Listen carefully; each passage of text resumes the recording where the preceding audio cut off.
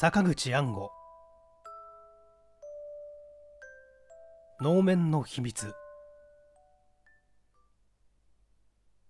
お常は目の見えないあんまだ。チビで不美人だが朗らかな気質でおしゃべり好きであんまの腕も確かだから旅館なぞもひいきにしてくれる。その日は朝のうちから予約があってかねてこれもお得意の野田家から夜の9時ごろ来るようにと話があった。野田家へ呼ばれるのは奥様の御用の時とお客様の御用の時があってお客様は大川さんの場合が多い。この日も大川さん。お常が9時15分ごろ行った時には食事の終わるところで9時半ごろから揉み始めた。食事は本邸だが大川さんの寝るのは別館で本館に比べればよほどこじんまりした洋館であった。野田といえば昔は大金持ちだったそうで本邸などはどんな旅館も及ばないくらい豪奢なものだそうだ。茶室と能舞台など国宝級のものを買い取って運ばせたもので5,000坪ほどの庭園もあった。熱海で今もこれほどの邸宅を旅館にもせず持ちこたえられていたというのは莫大な土地や山林を所有していたからで少しずつそれを売って非常に贅沢な生活をしていた。そういうようで時々見えるのが大川と今井という2人の男。大概2人一緒に来ることが多いようだ。2人はここの旦那の生前に秘書をしていたそうでこの日は大川さん一人のようであった。お常が別館へ揉みに行く時後で奥様もお願いなさるそうですから住み次第来てください。と女中さんから話があった。これもいつもの習慣だ。今井さんはまだ若いからあんまを取らなかった。大川さんは少量の酒で気持ちよく酔う人だった。しかし寝る前に睡眠薬を飲むので4 5 0分もむうちに大いびきで眠り込んでしまう。この日もそうだった。この人は変わった人で。お前のようなまずい顔でも酔ってあんまを取るうちにはとかく変な心起きやすいものだから。その壁にかかった鬼女の面をかぶって揉んでもらうことにしよう。こういう妙な習慣になっていた。昇進で用心深い人なのだろう。そのくせあんまは強くてもっときつくもっと力いっぱいと催促されるのでこういう人を揉むと何人前も疲れるからあんまには苦手な客だ。お常は大川が寝込んだのにほっと一安心。鬼女の能面を外して卓上へ置いて部屋を出た。お常は目が見えないながら勘の良いのが自慢だから行きつけの家や旅館に行った時には女中たちに案内されるのが何より嫌いだ。私は勘がいいのよ。一人で大丈夫。どこへ行ってもこう言わないと気が済まない。もちろんどこの女中もそれが決まりになっているから案内に立とうとする者もいなくなっていた。野田家でもそうだ。壁に手探りで進むから足音もなくからかみを開ける。すると奥の部屋から奥さんの声で「おつねさんかい？そうです。ちょっとそこで待っててね。はい。誰か人がいるらしい。奥さんはあまり人に聞こえないように声を低く、しかし力を込め。あなたの厚かましさにはもう我慢できなくなりました。今までに1000万円はゆすっているのですよ。私ももう67にもなりましたから名誉ぐらいどうなっても構いません。もう絶対にお金はあげませんから私の秘密を触れ回ったがいいでしょう。第一窓の外から夜中に戸を叩いてゆするなぞとは何事ですか？さっさと行きなさい。後で後悔しますよ。窓の外で含み笑いしてこう捨て台詞を言う男の声が聞こえた。奥さんが窓の戸を閉めたので男は立ち去ったらしい。大川さんではないようだとおつねは思った。彼は熟睡しているし男の声は低くてよくも聞き取れないぐらいだったが大川の声とは違っていたようだ。来客は一人の様子であったがこの邸内にいる他の男といえばそれは息子の幸之助か庭番のじいやだけだ。幸之助は南方の戦場から足に負傷して戻ってきて足を引きずっていた。この二人にはおつねはほとんど馴染みがなかった。奥さんはおつねを奥の部屋へ呼び入れて「とんだところを聞かれましたね。このことはくれぐれも人に話してはいけませんよ。はい決して言いません。大川さんはお休みですか？はい高いびきでお休みでした。そう。それからおつねは奥さんを揉んで出たのは11時半ごろであった。いつもならその時刻だとまた行きつけの旅館へ顔を出してみるところだがこの日は大川を揉んで疲れたので師匠の家へ戻って。今夜の野田さんは鬼女の面の旦那だからとても疲れたんです。休ませてください。客の席ではさすがにこんな話まではしないのだが師匠の家では随分ひどい話も打ち明けて茶飲み話にし合っている。そこでこう言って休ませてもらい疲れた晩の例によって5尺ほどの酒を飲み野田の奥さんは誰かにゆすられてるんだよもう1000万円もゆすられたらしいよ。鬼女の面の旦那じゃないけどね。と、今しがた人に言ってくれるなと頼まれたばかりのことまでおしゃべりしてしまった。そして、五尺の酒に良い気持ちになってぐっすり寝たから、おつねは、その晩の火事を知らなかった。火事のあったのは野田家の別館であった。山の手の水利の悪いところだし広い庭の中でホースが届いて水が出るまでに随分手間取ってしまった。それで別館一棟だけがきれいに焼け落ちてしまったが焼けた中に一人の男の死体が発見された。二部屋に布団が敷かれていて死体の方は一つである。死体の部屋が火元らしくこの部屋の2つのドアには鍵がかかっていたことが焼け跡の調査の結果確定した。廊下に面したドアには内側から隣の部屋に通じるドアには外側からそしてその隣室にも布団が敷かれていたのである。死体は大川であった。密室の死体であるからタバコの火の不始末か自殺かと一応結論が出かかっていたのであったがたまたまお常のあんま宿の向かいに新聞記者が住まっていた。そしてこの記者が現場の取材から戻った途端に女のあんまと近所の人の立ち話を聞いてしまったのである。あのうちにはお常さんがゆうべもみに行ってたんですよ。その人が妙な人でね。お常さんのような豊島の不美人でも酔っ払ってあんまを取るとおつな気持ちになって困ることもあるからと顔に鬼女の面をつけさせてあんまを取る例なんですってね。ところがまたおつねさんはあそこの奥さんがゆすられているのを聞いたんですって。今までに1000万もゆすられているからもう嫌です。秘密を方々で言いふらしなさいってね。すると男が今に後悔しますよと恐ろしい声で言ってたそうですよ。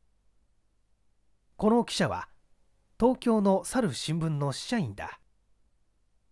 今しも現場から戻ってきて本社へ平凡な過失死らしいと電話したばかりである。殺人なら大記事になる。温泉町ではこうした記事が大いに話題になるからその方面に敏腕なのが揃っているものだ。近い頃関東の農家で似たような8人殺しがあって全国的な話題となったばかりであるからそれこそ特ダネと喜んだ。そのおつねさんは今どこにいますか？まだぐーぐー寝てますよ。もう10時を回ったじゃないか。あんまはそれぐらい寝ても毎日毎日疲れ切ってる商売よ。そこで記者はお常に面会を申し込んで叩き起こしてもらった。そんな大事件が起こったと知るとお常は顔の色を失ってしまった。そんなこと新聞に書かれちゃ大変だよ。まさかそんなことが起こると知らないからうかつに喋っちゃったけどさ。もう何を聞かれても答えないわよ。答えてくれなきゃ尾ひれをつけて書くだけさ。君が悪事をしたわけじゃあるまいしむしろ君は一躍有名になって日本中に名を知られるぜ。君を悪く言うどころかすごい名探偵だなぞと人がもてはやしてくれるぜ。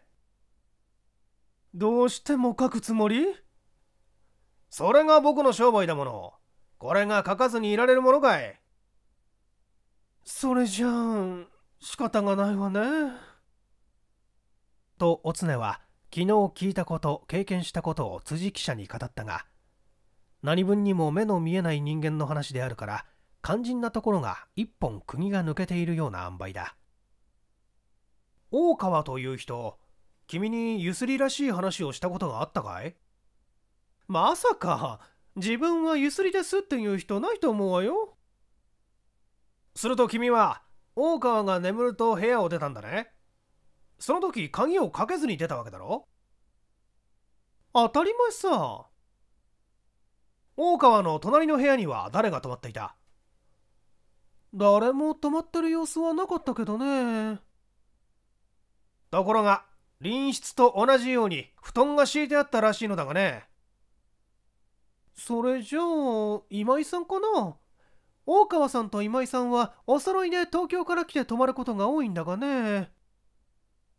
私はしかしゆすりの男が今井さんだったというつもりはないんだよ大川は君に鬼女の面をつけさせてあんまを取るぐらいだから時々みだらな素振りを見せたかい？それぐらい用心深い人だからそんなことしたことないに決まってるよ。そんなことまでに尾ひれをつけられちゃ困るじゃないか。注意しておくれ。いやすまん。君に変な素振りをするようじゃ野田の奥さんと何があっても不思議じゃないと思ったからだよ。つまり隣室の布団が奥さん用かという意味さ。バカバカしい。辻はその他多くのことを聞き出したがあんまの観察だから確実と見てよいものは少なかった。やや確実なのは次のことだ。おつねは9時半ごろから10時半ごろまで大川を揉んだ。大川は酒と睡眠薬を飲んだと語っておりあんまの途中に大いびきで眠った。おつねは布団を直してやり面を卓上に置いて鍵をかけずに部屋を出たがタバコの吸い殻がどうなっていたかはわからない。大川はあんまの最中タバコに火をつけたことは確かだがそれが何かに燃え移った気配は感じられなかった。おつねは鼻の感覚が敏感だと自称している。大川の部屋を出るとおつねは本邸の奥さんの部屋へ行った。その時奥さんが窓の外の男にゆすりを拒絶していたが相手の男は誰かわからない。11時半ごろおつねは退去したが火事が発見されたのは1時47分である。消化後の調査では大川の部屋のドアの鍵が全部かけられていた。大川は窒息後に焼死したらしく他殺を受けたような外傷も毒殺された疑いも発見されていない。辻はその足で再び現場へ急行してみると今しもその後の発表が行われたところで大川のボストンバッグの焼けたのが発見されその中に約100万円ぐらいと推定される千円札束の燃えくずがあったそうだ。当局ではそれをもって逆に外来者の強行の疑いは失われたものと見極めかけた様子であった。辻は当局の発表などはもう問題にしていない。直接邸内の人々と対決するのだ。まず女中からというのが記者常識の第一課だから。3人の女中に個別対面してみたが。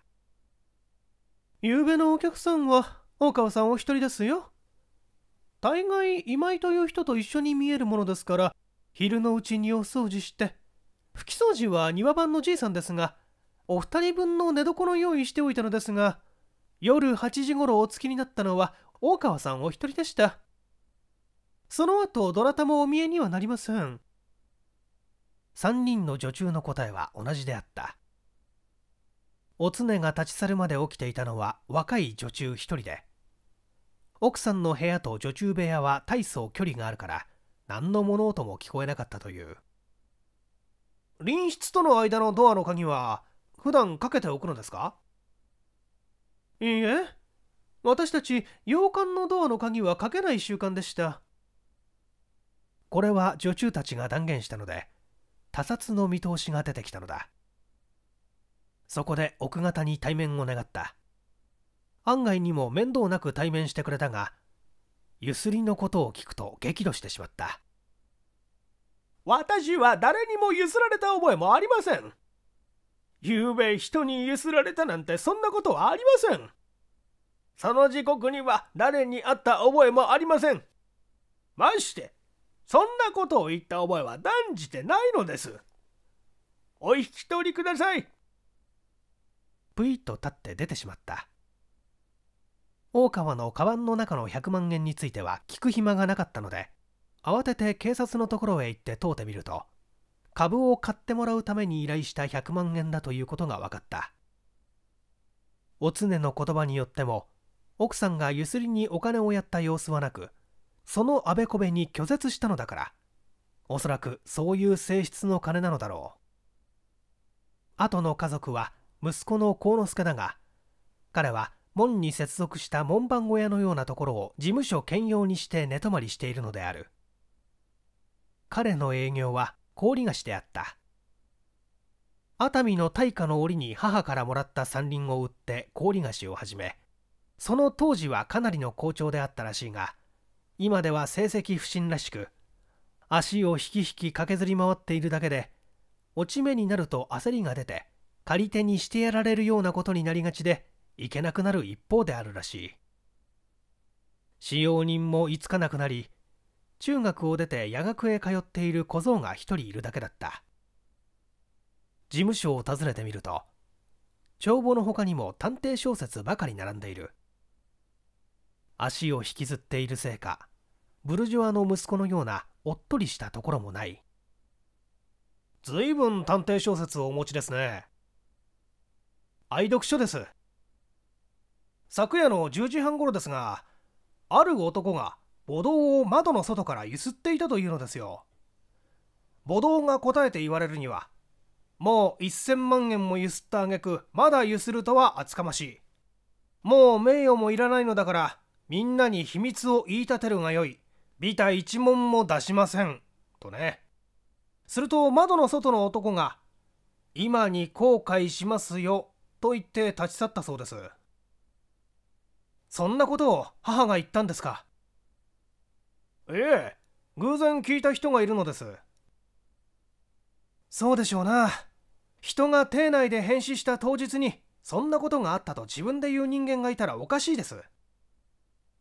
またそんなことのあった直後に人を殺すのもおかしいでしょう。ましてゆすられているのを人に聞かれているのにね。探偵小説の常識というわけですか？まあそうです。母も探偵小説はかなり読んでいる方ですよ。あなたは変な男が門を通るのを見かけなかったのですか？僕は9時頃からパチンコやってその時刻頃にはうどん屋でうどんを食べていましたね。この小僧くんが小田原の夜学から戻った11時頃偶然道で一緒になって帰ってきたのです。あなたは僕がそのゆすりだとおっしゃりたいのかもしれないがあの母から1000万円もゆすれる腕があれば氷菓子で失敗などするはずはありませんよ。すると墓道からゆするには氷菓子以上の腕が必要だとおっしゃるわけですね。まあそうです。どんな秘密か知りませんがその秘密を突き止める以外には手がないと思いますよ。もっともその秘密が軽々しく判明するぐらいならゆすりも成立しないわけですね。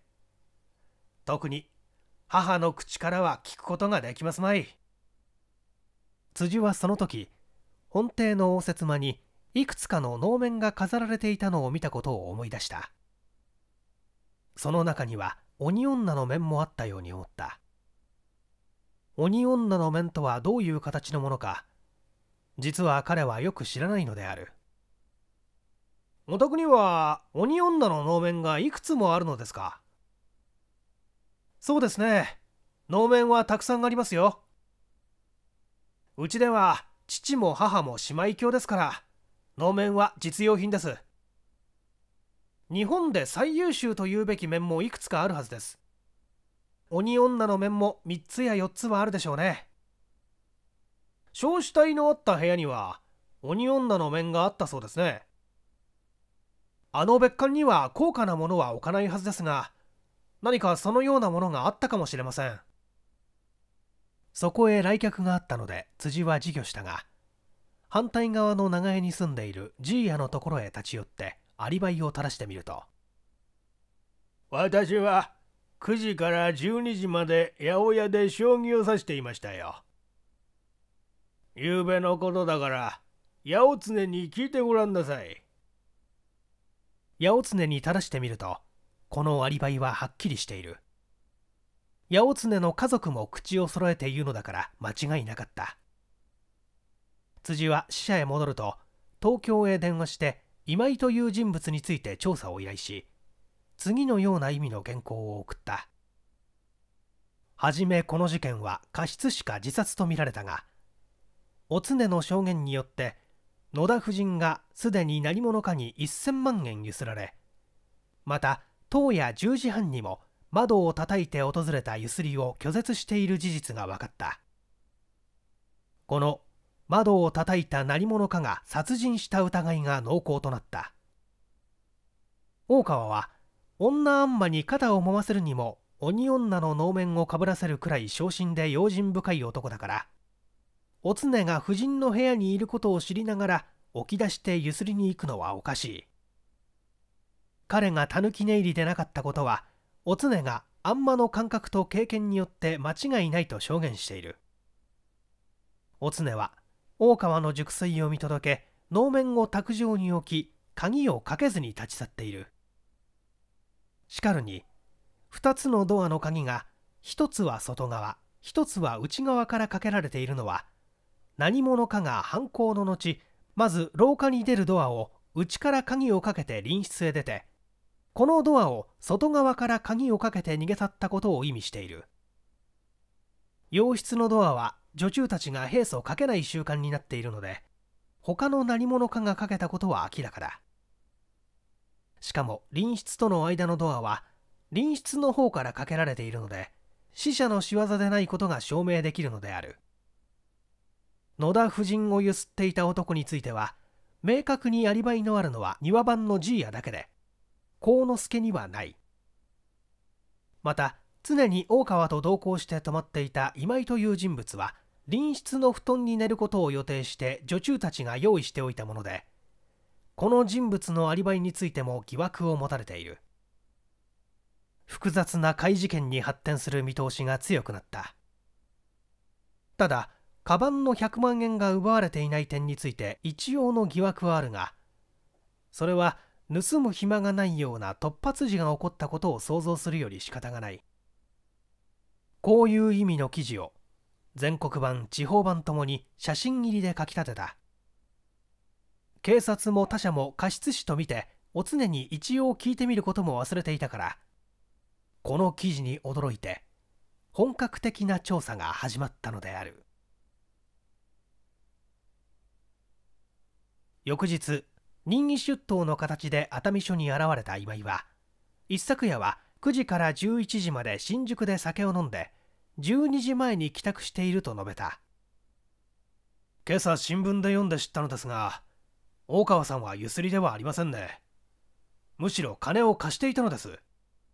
6700万は奥さんに貸していたでしょう。奥さんは株に手を出して近頃では大損の連続で。もう売るものも尽きかけていたようですよ。ちょっとした鉱山の出る山が残っていましてこれが貧困なんですがそれを僕に売ってくれとの頼みでなかなか買い手がうんと言わなかったのですが矢の最速です。これをどうやら1800万で契約ができて半金だけ現金払いあとは三月後の手形ということで1週間ほど前にそこの社員と僕が統計やってきてとりあえず900万の現金を渡して正式に契約書を取り交わしました。その時奥さんにもう株をやってはいけませんとくれぐれも念を押してまた大川さんからの借金も払ってあげてくださいとお頼みしておいたのです。大川さんが一人で熱海へ見えられたのはそれを受け取るためで私が保証人になっていた借用書も持っていかれました。その担保はこの豪華な屋敷ですからね。これを元利6700万で人の手に渡すバカな話はないのです。僕はその前からちょっと怒っていましてね。それというのが奥さんが僕に半年以上も交渉させて何度か現地まで人を案内しているのにその実費以外にお礼にくれたのがなんと5万円ですよ。思ったよりも売り値が悪かったので怒った気持ちは分からぬこともありませんがこのデフレ時代でしょ？そういうわけで腹を立てていましたから僕は大川さんと同行はしませんでした。人が借金を返してもらうのに同行しても始まりませんからね。そういうわけであの奥さんの流儀で借金取りもゆすりというならこれもゆすりかもしれませんが大川さんは人をゆするような人ではないのです。彼の証言は意外なものであった。他に誰かゆすっていたような様子はありませんでしたか？そうですね。株で吸った金だけでも何億でしょうから1000万ぐらいは右から左へどうにかなっても旗から分かりゃしませんね。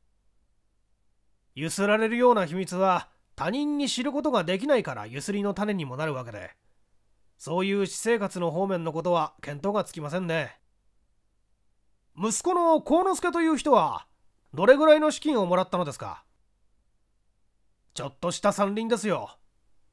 時期が良かったからすぐ2 3 0 0 0万の金になったようですが氷菓子を始めてからはたちまちダメになる一方でしたね。野田家の財産は現在どのくらいあるのですか？今ではすっからかんですよ。今度売れた1800万の他にはその半分も値のなさそうなのが一つ二つであとはあの家屋敷だけです。むしろ骨董品にいくらかあるかもしれませんが実はめぼしいものはもう大方売ってしまったようです。その方には僕らはタッチしませんから知りません。今井の言葉はまるで犯人が野田家のものだと決めているような口ぶりであった。挙句には大川さんの奥さんが今熱海におられるというお話でしたから大川さんの熱海旅行の目的等について聞いてごらんなさい。そこで大川夫人に聞きたらしてみるとその旅行は株券を買うためではなくて借金を返してもらう目的であったということがはっきりした。家屋敷の抵当があることですから借金返済を催促したようなこともなかったのですがまたむしろそんなわけですから100万円だけ受け取るわけがないように思いましてね。奇妙なことだと思っておりましたのです。ご主人は今井さんとずっと懇意にしておられたのですか？今ではお勤め先も違っておりますし年齢の開きもありますので野田様以外のことであまり交渉もなかったようです。ところが東京からの報告によると今井の申し立てたアリバイは極めて曖昧だ。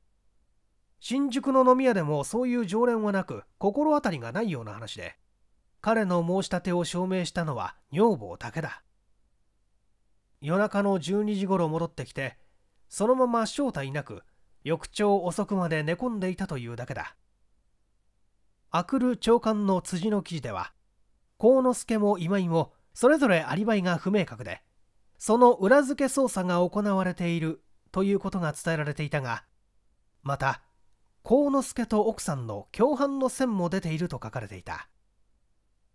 頼みになるのが目の見えない一人の証言だから特ダネを握って颯爽と出発した辻も早くも捜査難航。決め手がないと訴えている有様であった。奥さんがゆすりのこととなると相変わらず断然ゆすられた覚えがない。それはあんまの空耳だと言い張るものだからおつねはやるせない思いで暮らさなければならなかった。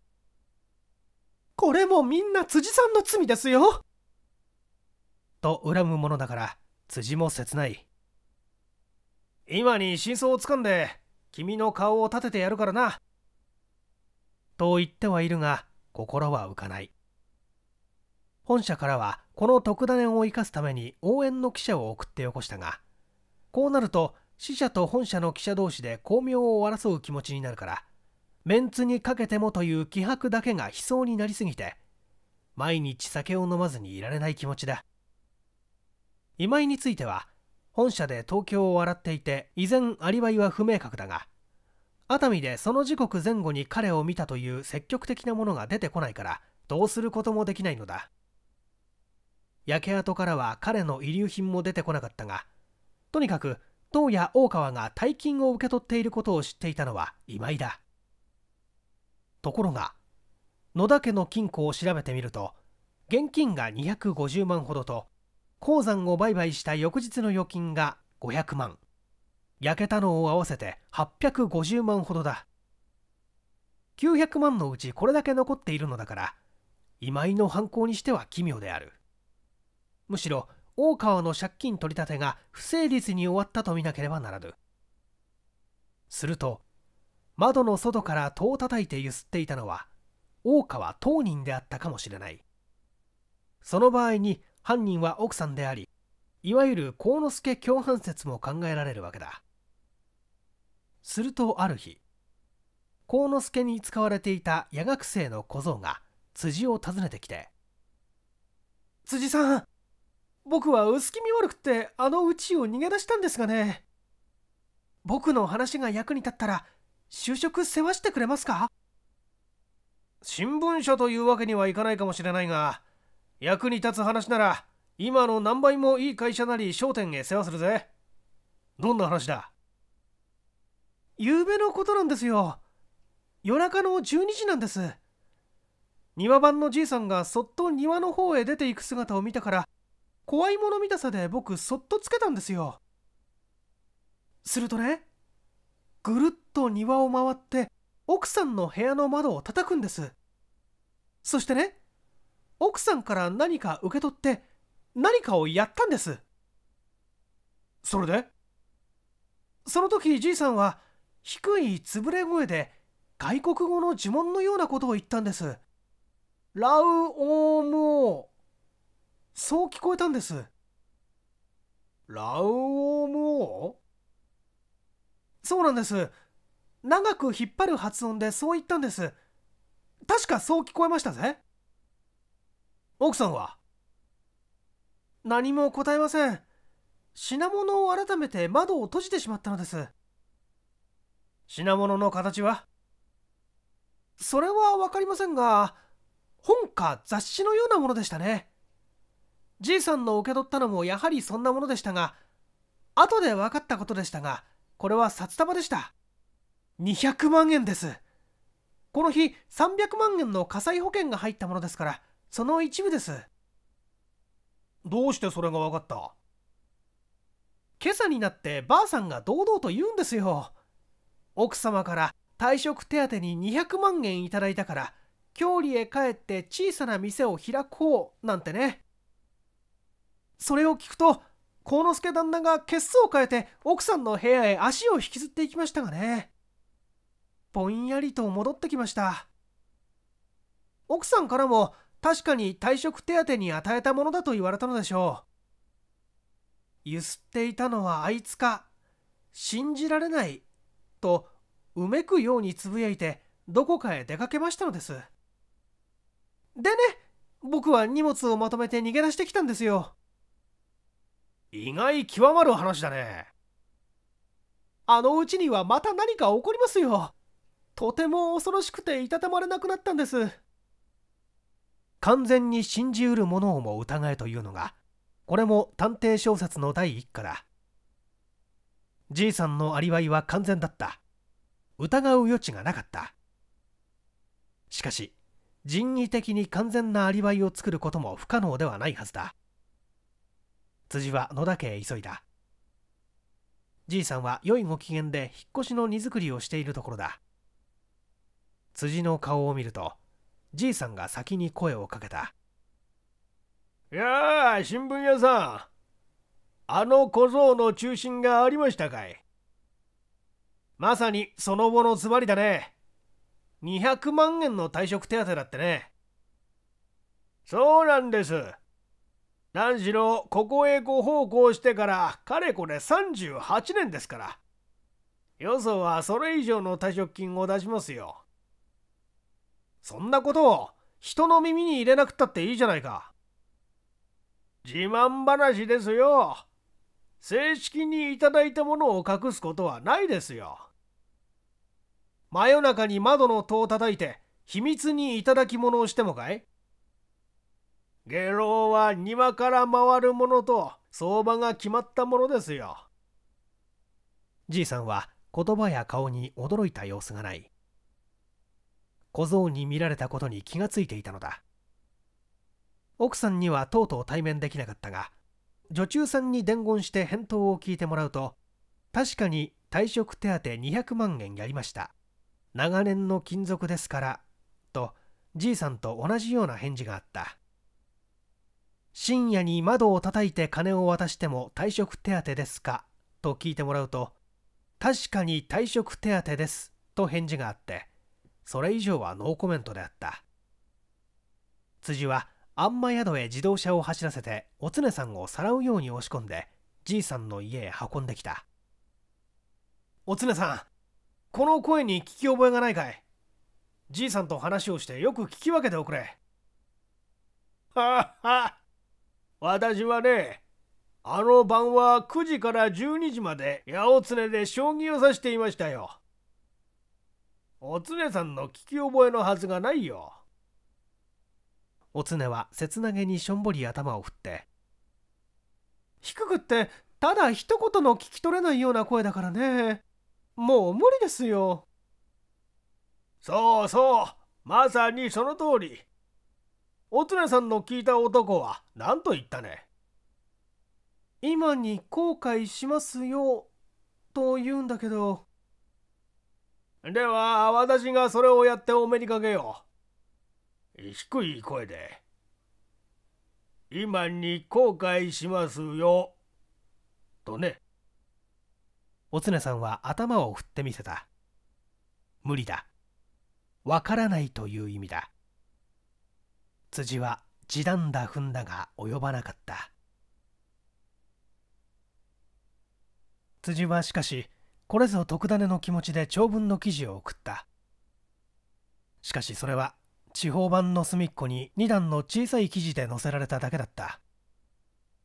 この事件もそろそろ忘れられようとしていた。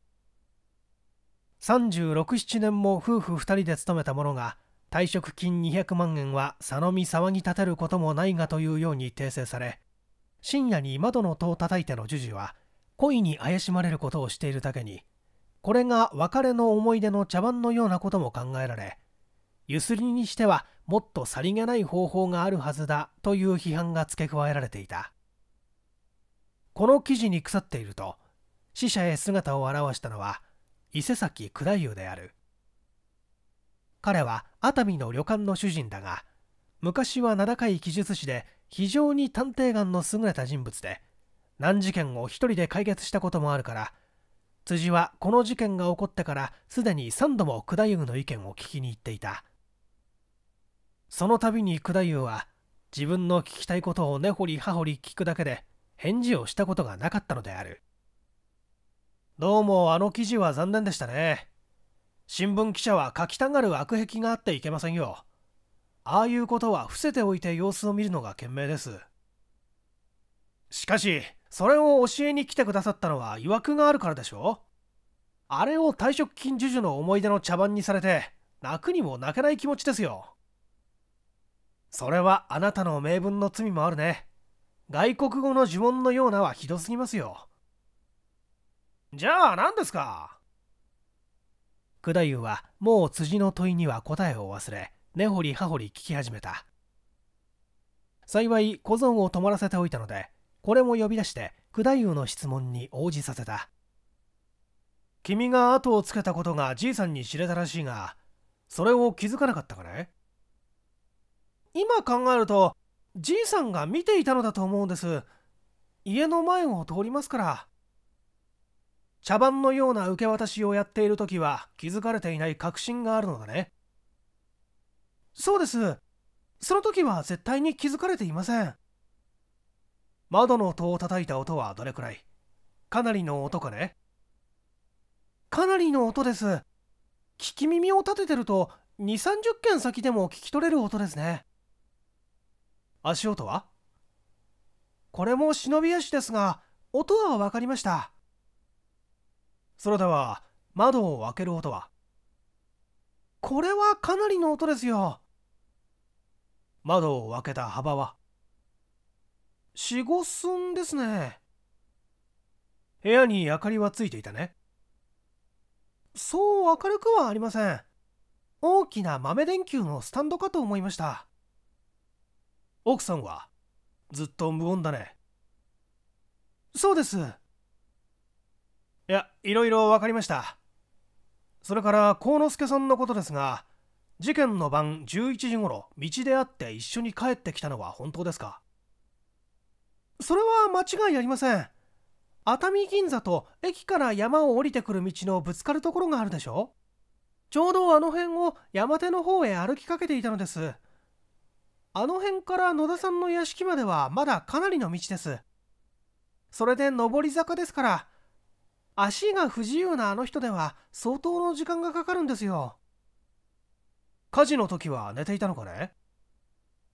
ええ、消防車が来て叩き起こされるまで知らずにいました。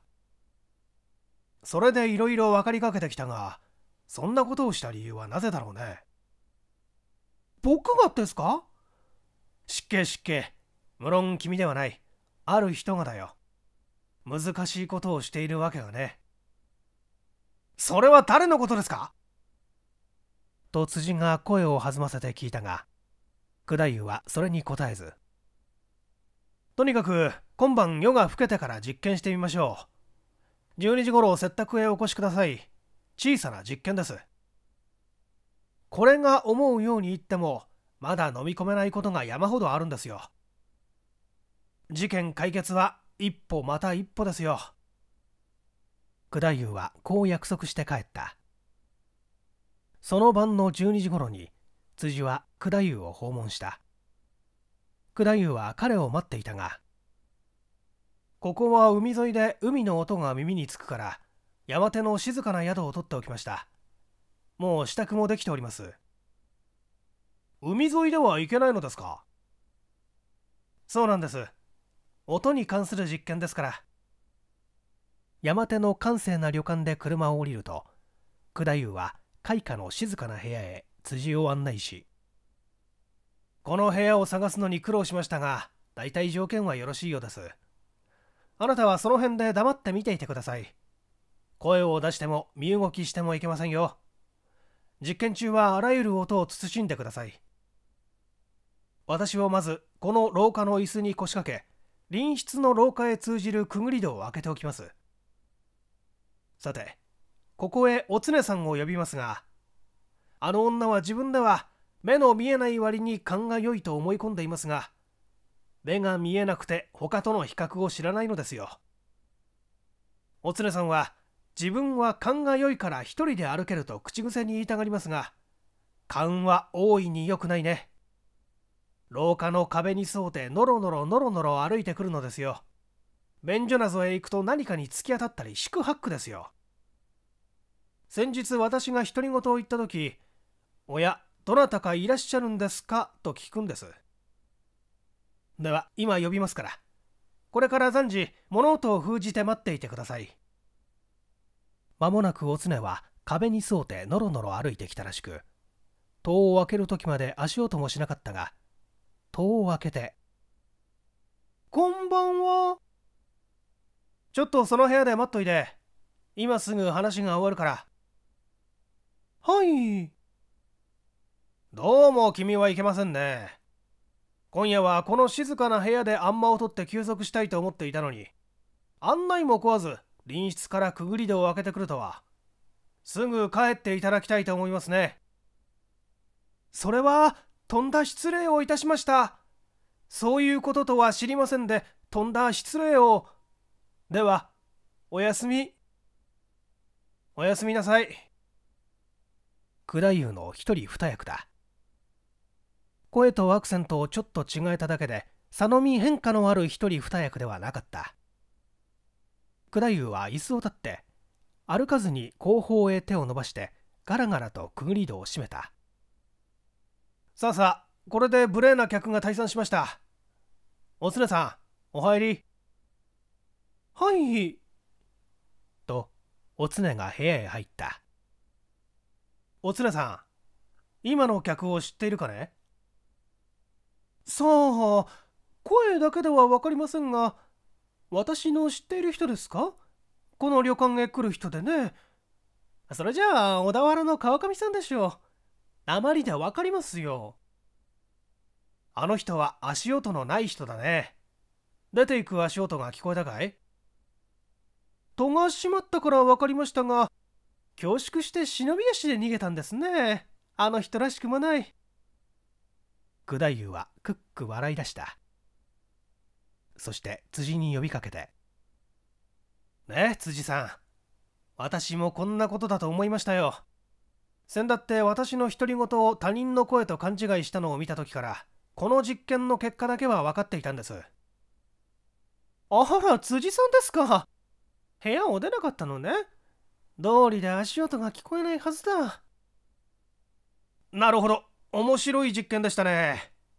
しかしますます訳が分からなくなりました。それなんですよ。あの奥さんは能もやれば長唄もやる。声の変化は楽に出せる人です。男の作り声ぐらいは楽なんですね。おつねは。辻以上にびっくりしてしょげてしまった。それじゃああの時私が聞いたのは奥さんの作り声ですか？そうだと思うね。だからお前さんは戸の閉まる音は聞いても戸の開く音は聞かなかったと思うね。あんなにノロノロと壁伝いに廊下を道中してくれば戸の開く音は聞こえるはずだがつまり戸は多分お前さんが別館を出る前から開いていたのだ。そしてお前さんを待っていたのだろう。戸が閉まれば立ち去る音は聞こえなくともどうでもいいように。これを邪道にしてダビというのかもしれないがおつねさんにとっては竜の銅だけあれば思考が満足しているんだね。そこがお前さんのひがみの少ない気立ての良いところだがね。私は恥ずかしくなりましたよ。まあさそこがおつねさんの値打ちだね。人に騙す気持ちがあれば必ず騙されるお人よしなんだから。九太夫はこうおつねを慰めたがさて辻に向かって。さて今晩はこの静かな旅館で考えてみようじゃありませんか。こういうことがなぜ行われたか。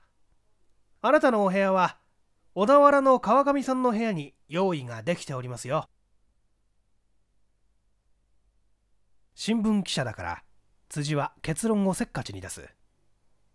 目が覚めると大体見当がついている。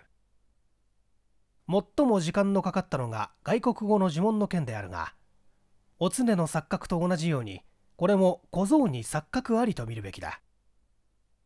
結論が出るとせっかちだ。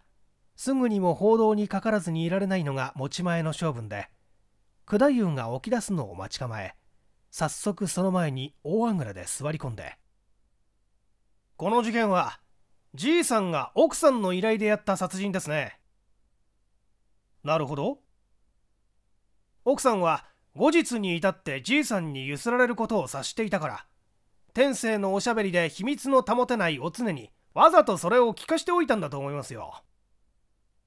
じいさんのアリバイは12時までですから奥さんの作り声の件が解決すればアリバイはないわけです。火事は1時40何分かに発見されているんですからね。つまり奥さんの作り声は容疑者のアリバイを乱す役目も果たしていたのです。その着眼は面白いですね。そこでじいさんは大役を果たしてしかもカバンの100万円には手をつけないような首相なことも果たしました。その100万円をトリック代として200万円は当然でしょう。ところがやつめチキがあるからわざと窓の外から戸を叩いてラウオーモーつまり空正門と嫌がらせを言ったんじゃないですか？空正門。いいところを見てますね。空正門の受け取りと引き換えににがりきった奥さんが200万円渡した。これは確かに渡さなければならぬ金です。どんなにからかわれてもこの金をやって追い出す以外に手がなかった。そうですか。それではもう一度あなたの使者へ参上してあの小僧に一言聞いてみることにいたしましょう。まさか小僧が犯人ではありますまいね。無論そうですが小僧に聞いてみることが一つあるのです。二人は辻の使者へ着いた。早速小僧を呼んで九太夫が聞いた。それは実に思いがけない質問であった。あの屋敷内で新聞を早く読むのは誰だね？小僧もびっくりして即答できなかったほどである。そうですね。僕は夜学で夜更かしして朝が早い方ではありませんし奥の人たちも皆遅いんです。結局新聞の投げ込まれるのがじいさんの窓口からですしあの夫婦は早起きだから僕らが起きる前に面白そうな記事は全部暗記しているほどですよ。あの屋敷に辻さんの新聞も入っていたろうね。無論です。奥さんは株をやっていますから大概の新聞は目を通していました。九太夫は我が意を得たりとうなずいて。これですよ。解決の糸口は。じいさんは事件の翌々日も誰より先に新聞を読んだにそういないのは毎日の習慣ですから当然考えることができます。あなたがあの朝の記事で報道するまでは警察も他の新聞もお常のことを忘れていました。過失しか自殺と考えあん馬の話など聞く必要もないと思っていたわけです。だから辻さんだけがその前の日に取材に来ても警察がほぼ過失と定めていることだし犯人もさほど気にしてはいなかったでしょう。特に犯人は一つのことを知らなかった。死体の部屋にあった能面のことを知りませんでした。あなたもその能面について聞いたでしょうが興味本位の聞き方で事件と深く関係を結ばせて取材しなかったんじゃないですかね。そうですね。そういう聞き方はしなかったようです。被害者が鬼女の面をあんまりかぶせて揉ませていたという冒険的な趣味を一つ付け加えるのが楽しみのための取材でしたね。そうですよ。ところがあの日の記事を読むとそうではない。一つ見落としてはならぬことが書いてあります。あの日もおつねは鬼女の面をつけて揉んだ。揉み終えて面を卓上へ置いてドアの鍵をかけずに退出したと書かれている。もしこの能面が屋敷内のどこかに焼けもせずにあったとすればその所持する人や所持しうる人が犯人であることは明らかではありませんか。早起きは三問の徳とはこれですな。庭番のじいさんは誰よりも先にこれを読んだ。そして毎日屋敷内や庭園内を掃除に回っていますから室内や邸内のどこに何があるかは誰よりもよく承知です。どこかでそれを見ていたとすればそしてそれをまだ人々が新聞を読まぬ先に手に入れたとすればこれはゆすりの材料になりますよ。200万円は安いぐらいだ。つまりあのじいさんのゆすりはあなたの記事ができた日に始まった新商売に過ぎなかったわけだ。ほとぼりの冷めかけた頃本格的にゆすり始めて退散したわけですが彼が奥さんに200万円と引き換えた品はラウオーモンやカラショウモンとも違ってラショウモン多分羅生門の鬼女の面ではないのですかね。辻が二の句の告げないうちに小僧が叫んだ。そうですよ。それですよ。ちょうど面ぐらいの品物でした。辻はやや納得できぬ顔で。それで多くのことが明らかとなりましたが奥さんが作り声をしたことや能面を持ち帰ったわけは？それにはいろいろな説明があり得ると思いますが探偵小説などを読みますと特に西洋におきましては女が悪者にゆすられている場合絶対にノーコメントで押し通すことができてまたその秘密を知って女を護衛する立派な男などが逆にそこを突かれて女と一緒にいたためにアリバイを立証できなくなる例が多いのですねそこを逆用してノーコメントの手を編み出すつもりだったかもしれませんよ。ちょっとした手だと思いますよ。なるほどね。新聞もゆすりの件で彼女のノーコメントに一目置いている傾向がありましたね。それなんですよ。次に面の件ですが、奥さんは鬼女の面をかぶり顔を隠してやったんじゃないですかね。そしてドアの鍵をかけたり火をつけたりまたドアの鍵をかけたりして夢中に逃げて鬼女の面を自分の部屋までつけたまま持ち帰ったのかもしれませんだからじいさんが何かと引き換えに200万円せしめたあの記事が新聞紙上に出なければひょっとするとその能面に再開できたかもしれませんがもうその見込みはないでしょう。要するにあらゆる物的証拠が失われているわけです。辻はここまで聞いてますますがっかりしてしまった。これを記事にしても物的証拠がなければ金的を射止めることができない。全てが九太夫の単なる推理に過ぎないのである。実にどうも残念だ。彼は腕をこまねいて考えに沈んでいたが。しかしこれを記事にしないわけにはいきませんよ。じいさんに白状させても記事にしてみせますよ。九太夫は静かに制した。天下の大新聞が空振りは慎んだ方がいいですよ。あのじいさんは白状することがありますまい。しかし今に天罰が自然に犯人の頭上に訪れると思いますよ。なぜならですね奥さんにはもう残った金がありません。これからもますます株に手を出すことでしょうが2人の味方の1人は自分が殺し1人は背いて去りました。あの人の金は砂に巻くようなものです。自然に破滅が訪れますよ。老衆の極みに達して恥を天下にさらすのです。小じになってのたれ死ぬかもしれませんよ。この予言は実に近いうちに実現したのである。幸之助が有り金さらって逃げたのである。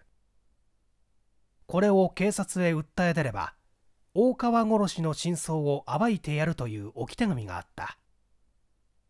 幸之助は家の内情について明るいし探偵小説にも詳しいから九太夫と同じ推理に達することができた。